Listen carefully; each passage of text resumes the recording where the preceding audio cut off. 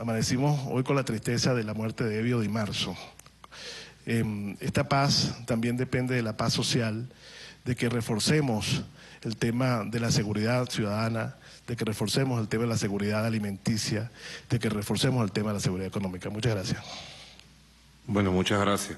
Efectivamente quiero transmitir a todos los familiares de nuestro amigo, compañero de muchos años, Evio Di Marzo, nuestro dolor, nuestras condolencias por bueno, su pérdida de manos de criminales que apagaron una vida tan hermosa, tan llena de espiritualidad, de energía, al que conocimos bien, en momentos de dificultades, muchas dificultades, Evio, por allá por el 92, 93, 94, cuando tanto nos perseguían, siempre estaba Evio con su palabra de aliento, con su protección, con su poesía, con su canto. Nos dejas tu canto, Evio, y con él iremos siempre.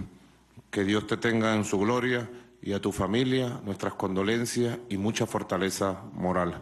Y a los criminales llegaremos a ellos. Tengan la seguridad absoluta, llegaremos a ellos.